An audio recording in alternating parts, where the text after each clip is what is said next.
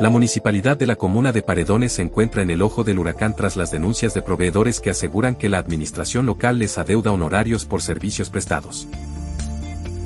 Sí, bueno, eso para mí es, igual es algo que, que incomoda un poco para el que tome a cargo el municipio, va a ser difícil de poder tapar eso, esas deudas que hay, eh, para poder empezar a trabajar con lo que uno quiere eh, a través de nuestra candidata que sé que va a salir la alcaldesa eh, va a complicar un poco.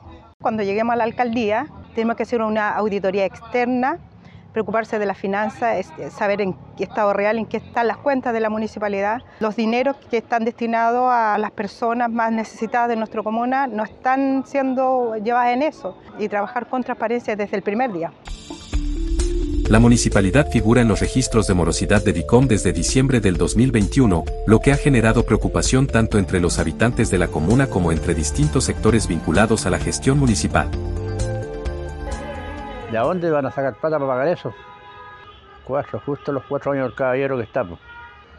De que la, si llegan a pagar eso, la, la municipalidad se va a ver mermada en plata, que aquí hay muchos mucho gastos que hacer. Si no hay plata, ahí lo va a llegar al cogote. La deuda acumulada de la municipalidad ha llevado a algunos proveedores a interponer reclamos formales, mientras que otros evalúan limitar o suspender sus servicios. Es un daño tremendo para la comuna y también para la nueva administración. Asumir algo con deuda, me imagino que va a ser una administración súper difícil porque ya está al debe, comenzando con un paso más atrás.